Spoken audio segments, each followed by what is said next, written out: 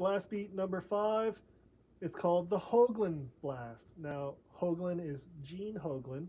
Now, you'll see him use this a lot or hear him use this a lot and many of his albums, many of his things, and I do think it's one of his signature moves. Um, so basically, you're doing the um, hyper blast, but you're alternating from the eighth notes of the foot to 16th notes back and forth.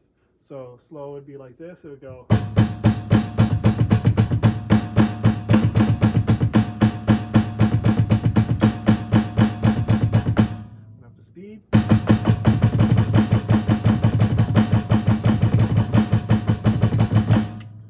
That's the Hoglan blast.